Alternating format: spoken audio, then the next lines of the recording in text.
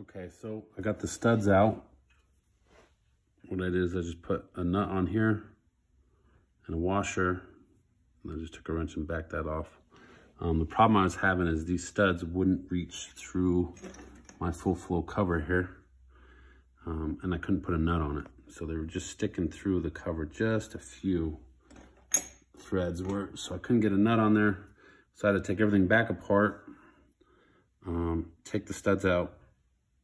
I put some penetrating oil in there, uh, put the bolt in, cleaned out the threads. So I went down and went to the hardware store. These are stainless socket head, socket cap screws, or scrap bolts, excuse me. Um, and I went and I got some wavy washers. My hardware store didn't have the wavy washers. I stole these from uh, a BMW I worked on. Some some hardware stores might have them. Might need to go to a specialty bolt store. Um, and then the original Volkswagen nuts have a nylock washer on them.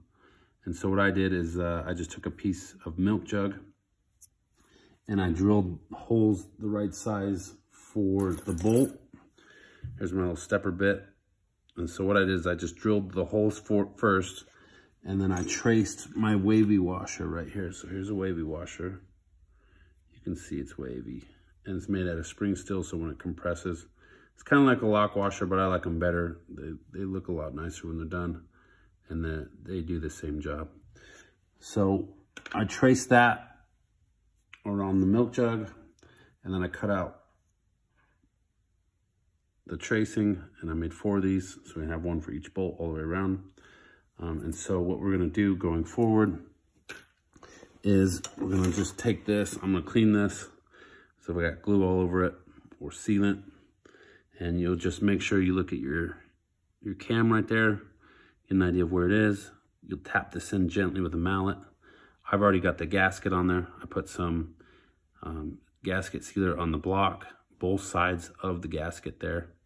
And then I'll clean this up and we'll put a little bit around the edges here.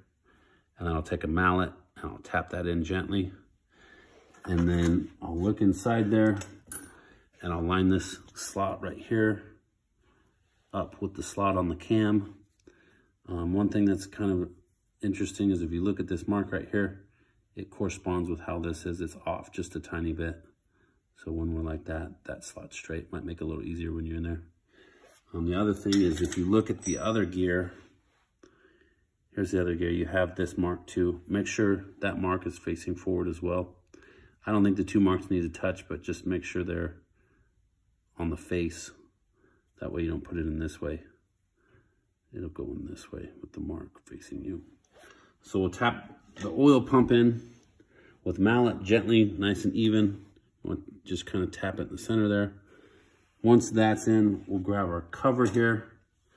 We'll put a little sealant on this side. And then we'll grab our gasket, put some sealant on both sides.